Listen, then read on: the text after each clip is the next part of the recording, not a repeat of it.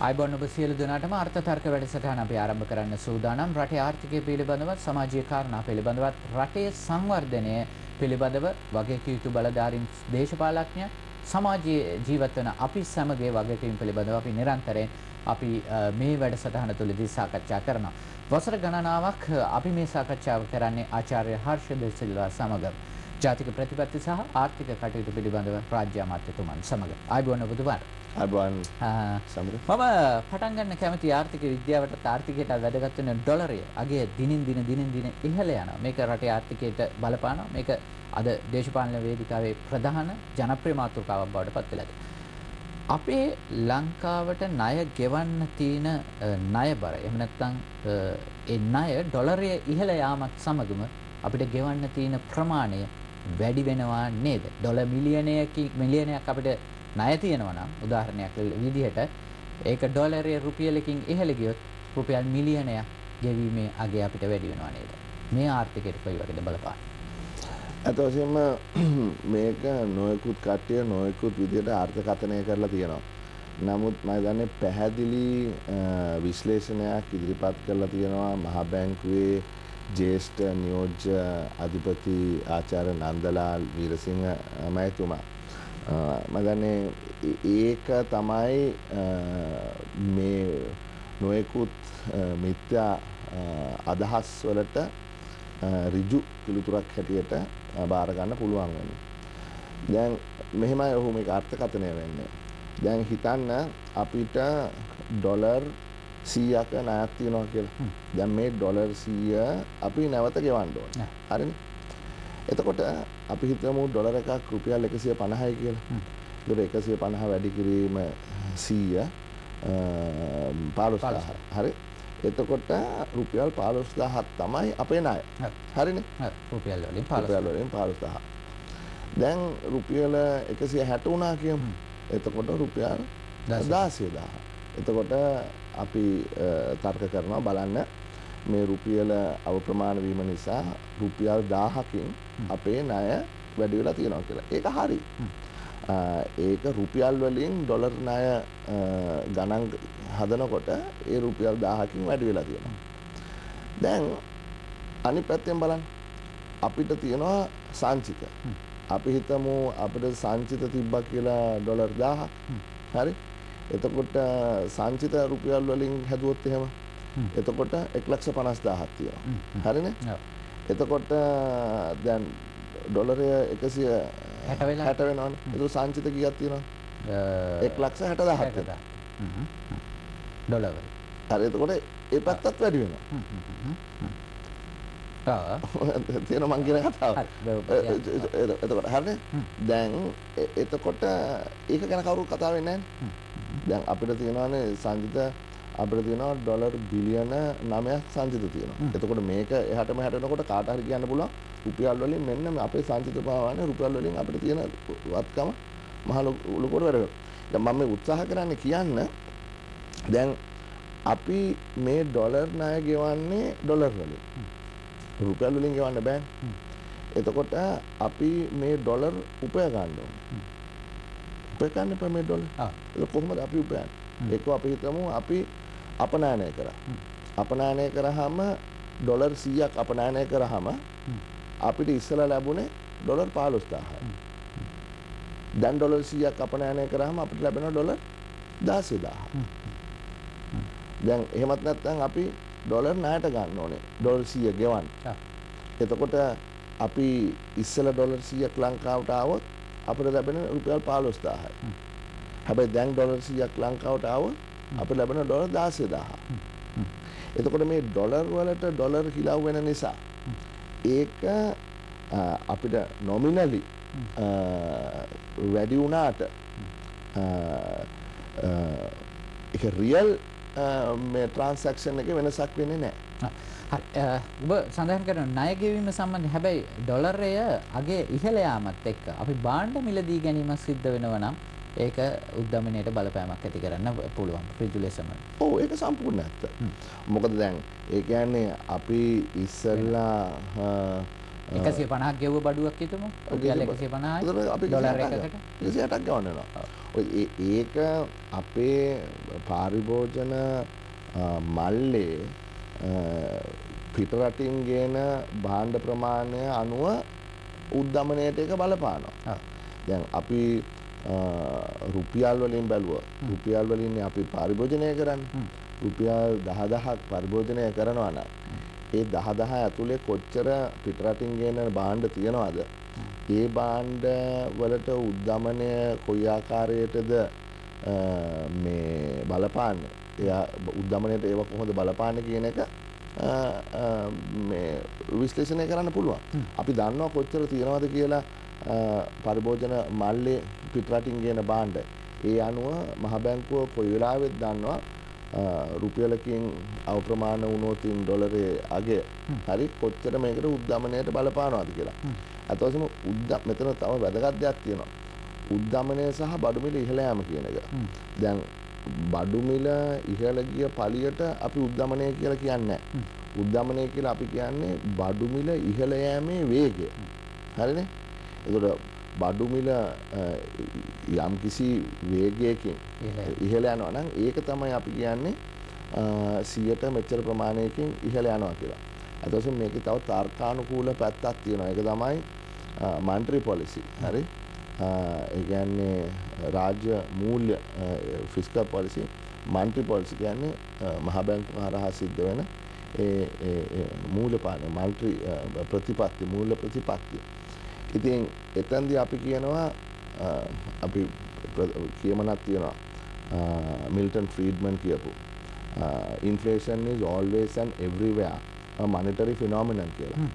ඒ කියන්නේ බාණ්ඩවල මිල ඉහළ යනකොට හරි ජනතාවට එය මේ ලබාගෙන ඕ දැරිය හැකි වීම සඳහා මහ බැංකුව හරහා.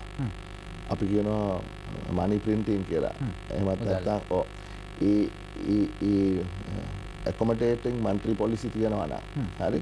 එතකොට මුදල් වල මිල. හරි? පහලට යනවා නම්. රටේ තියෙන මුදල් ප්‍රමාණය ප්‍රසාරණය වෙනවා නම්. හරි? එහෙම වුණා නම් තමයි දිගින් දිගටම මේ බඩු මිල ඉහළ යන්නේ. බඩු මිල ඉහළ යනවා. ඒකට තමන්ගේ අතේ තියෙන මුදල් ප්‍රමාණයත් වැඩි වෙනවා. එතකොට ඒ මිලට ගෙවන්න පුළුවන් වෙනවා. එතකොට මේක අර චක්‍රයක් වාගේ දිගින් දිගටම මේ කරකිනවා.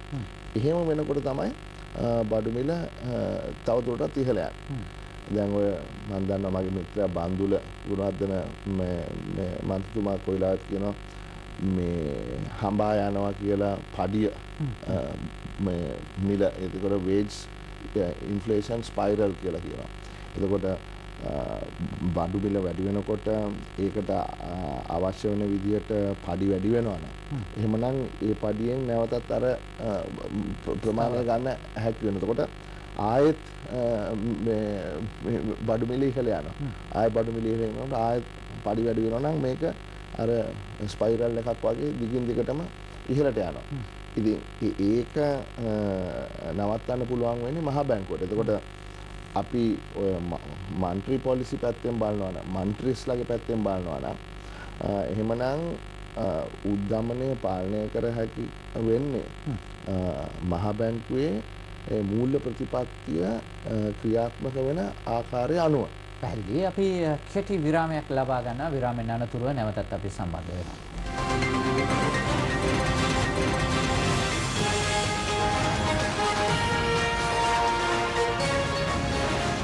විරාමෙන් අනතුර නැවතත් අපි සම්බන්ධ වෙනවා. අපි රුපියල අවප්‍රමාණය වීම පිළිබඳව අපි පළවෙනි විරාමයට පෙර සාකච්ඡා කරමින් හිටියේ.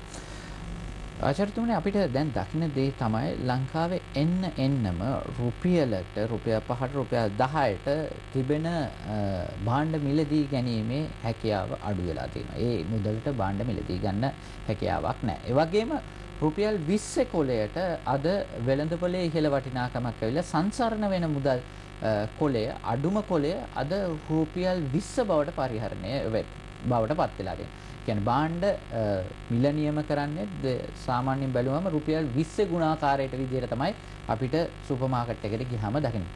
මේක ආර්ථිකයේ එක තැනක ලොකු කඩාවැටීමක පැරණිමිත්තක් නෙවෙයි. ඔව් ඉතින් දැන් ගත්තොත් වෙනස්ුවෙලාවේ මේ ඊයේ පෙරේදා වෙනස්ුවෙලාවේ බොලිවා මේ ඒගොල්ලොන්ගේ කරන්සි වල මුදල් ඒකකයේ බින්දු කිහිපයක්ම කපලා දැම්මා.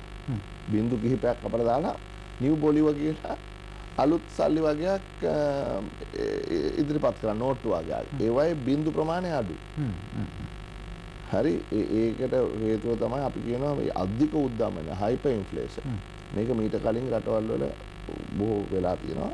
එතකොට අලුත් මුදල් ඒකකයක් ඉදිරිපත් කරනවා.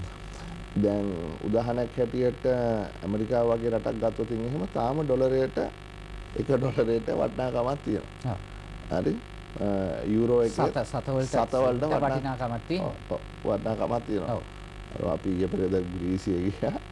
යුරෝ එකේ ඉතුරු සල්ලි මේ සත 10ක් දෙනවා. සත 20ක් දෙනවා. මොකද ඒකේ ඒ අගේ ඒ රැඳිලා තියෙනවා. ඒ ඒ ඒකකේ.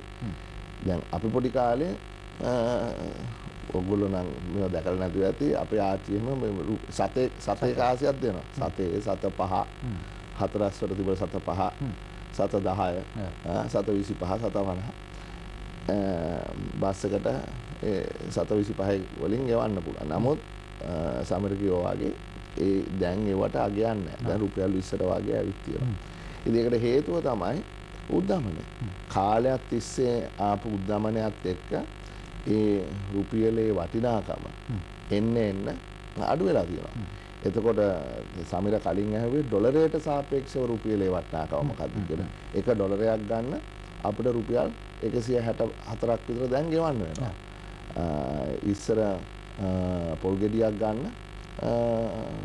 මම දන්නේ සත ගණන් වලට රුපියල් 5 10ට පොල් ගෙඩියක් ගන්න පුළුවන්. අද පොල් ගෙඩියක් ගන්න රුපියල් 60ක් 70ක් ගෙවන්න වෙනවා. මොකද අද ඊයේ පෙරේදා මේ පුවත්පත්වල කියවුවා පොල් වගා කරන ගොවි මහත්තයාට අවම වශයෙන් රුපියල් 40ක්වත් ලැබෙන්නේ නැත්නම් ඒ මේ ෆාම් ගේට් එකේදී එහෙමනම් ඒ පොල් වගා කරන එකේ තේරුමක් නැහැ කියලා. එතකොට ඒ මනුස්සයාට රුපියල් 40ක් අපි දෙන්න ඕන නම් පාරිභෝගිකයාට එහෙමනම් 70කටවත් 65කට 70කටවත් විකුණන්න සිද්ධ වෙනවා. එතකොට ඒ ඒ ඒකට හේතුව තමයි මේ කාලයක් තිස්සේ මේක අදීය වෙච්ච දෙයක් නෙවෙයි කාලයක් තිස්සේ අපේ රටේ තිබිච්ච උද්දමන. දැන් නමුත් දැන් අවුරුදු 10ක විතර ඉඳලා උද්දමනය අපිට පුළුවන් වෙලා තියෙනවා. අපි කියන සිංගල් ඩිජිට්. එහෙම නැත්නම් තනි ඉලක්කමන තියාගෙන. ඒක මම හිතන්නේ 2009 10 2000 කොමත් ගියාණ්ඩුව කාලේ. අධිකට තිබිච්ච උද්දමනය ඔවුන්ට ඔවුන්ට පුළුවන් වුණා තනි ඉලක්කමට ගේන්න මේ කබ්‍රාල් මහත්මයා මේ අධිපති වෙලා ඉන්න දවස්වල ඒ කාලේ ඉඳලා දැන් වෙනකම්ම තනි ඉලක්කමේ උද්දමනය තියෙනවා. මෑත කාලේ උද්දමනය වැඩිම වුණේ දෙදස් අට විතර කාලේ.